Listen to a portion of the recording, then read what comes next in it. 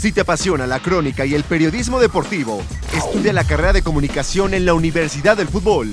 Las mejores prácticas profesionales, instalaciones de primer nivel y el mejor ambiente para cumplir tus sueños. Universidad del Fútbol presenta. Contento de, de regresar al club que, que, me pidió.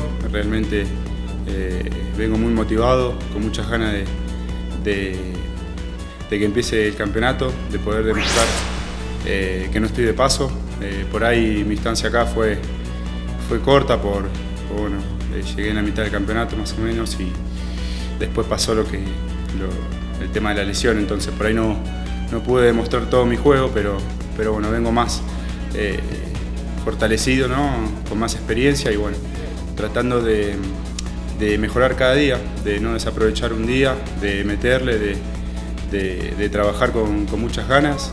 Eh, y nada, y esperar el inicio del campeonato, que, que, es lo que todos queremos. Sé que puedo dar más, ¿no? entonces eh, estar hoy acá para mí es, es muy importante. Eh, lo que te decía recién, no vengo de paso, sino vengo a sumar para, para el equipo, trabajar al máximo y los minutos que, que me toque jugar, tratar de, de, hacerlo de la mejor manera y con goles.